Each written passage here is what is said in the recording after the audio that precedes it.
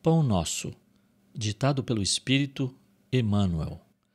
Psicografia de Francisco Cândido Xavier. Conciliação. Concilia-te depressa com o teu adversário enquanto estás no caminho com ele, para que não aconteça que o adversário te entregue ao juiz e o juiz te entregue ao oficial de justiça e te encerrem na prisão. Jesus, Mateus 5, 25.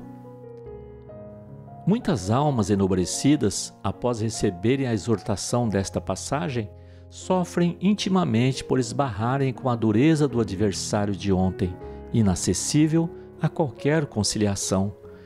A advertência do Mestre, no entanto, é fundamentalmente consoladora para a consciência individual.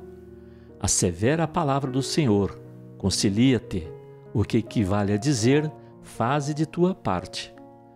Corrige quanto for possível relativamente aos erros do passado movimentando-te no sentido de revelar a boa vontade perseverante.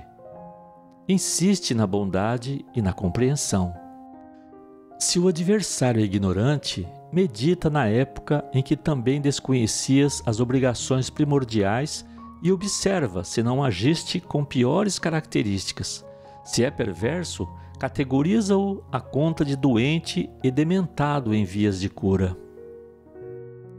Faze o bem que puderes, enquanto palmilhas os mesmos caminhos, porque se for o inimigo tão implacável que te busque entregar ao juiz, de qualquer modo, terás então igualmente provas e testemunhos a apresentar.